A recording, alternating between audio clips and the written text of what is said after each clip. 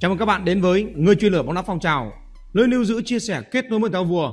Nhắc về khu phố Phú Quý Đông, người ta sẽ liên tưởng đến quê hương của cố tổng bí thư Nguyễn Văn Cử, hay nơi có nhiều nghệ nhân làm mộc. Nhưng vào mùa hè này, nơi đây đang diễn ra giải bóng đá đồng niên với sự tham dự của 16 đội bóng.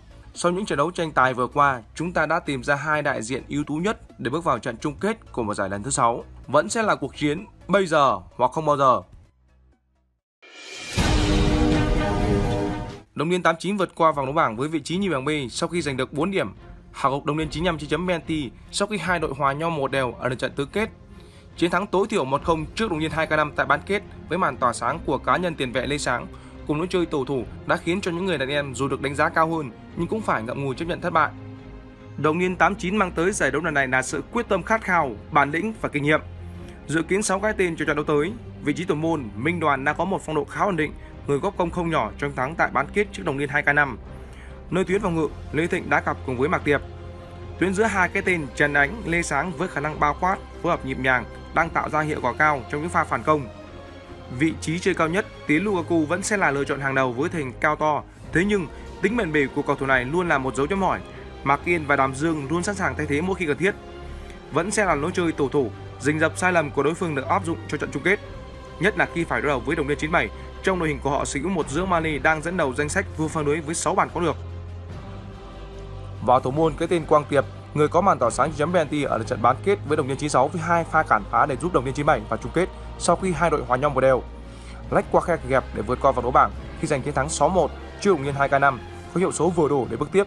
Tại tứ kết, đả bại đồng niên 2K, đội bóng có hàng thủ vững chắc nhất của giải đấu với tỷ số 2-0. 6 cái tên dự kiến ra sân, vị trí thủ môn Quang Tiệp, người không thể thay thế hàng phòng ngự Minh Khương và Hưng Bông đang cho thấy sự ăn ý trong những tình huống bọc lót cho nhau. Dưỡng Mali sẽ có nhiều vụ điều tiết nối chơi, phát triển cung cấp bóng cho hai cầu thủ tuyến trên là Văn Thọ và siêu mẫu Lê Khải. Ngoài ra, cầu thủ này cũng sở hữu khả năng dứt điểm sắc bén để tạo ra sự đột biến. Rất có thể đồng niên 97 sẽ sử dụng lối chơi áp sát tầm cao nhằm bao mòn thể lực đồng niên 89 là trận cầu tới. Trận chung kết của mùa giải sẽ diễn ra vào 19 h 30 ngày 18 tháng 7. Hãy cùng trò tài dự đoán của bạn dưới phần bình luận bài viết của chúng tôi.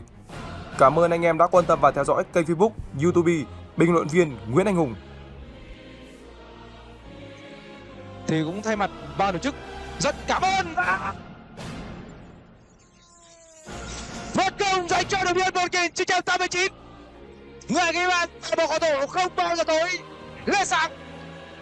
phá dứt điểm không vượt qua hàng rào. Dương Ba Lê, Dương Ba Lê.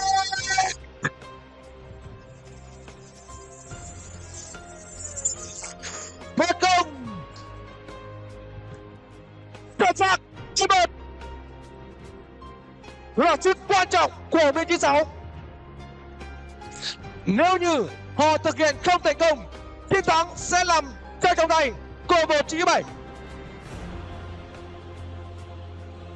Iseru và Quang Tiệp. Các cổ mở xong trên đợt thì thường sống dài. Một chi bảy sẽ thi đấu ở trận chung kết mùa mùa giải năm nay. Xin được chúc mừng những con trâu vàng. Bình luận chuyên sâu các giải đấu bóng đá phong trào.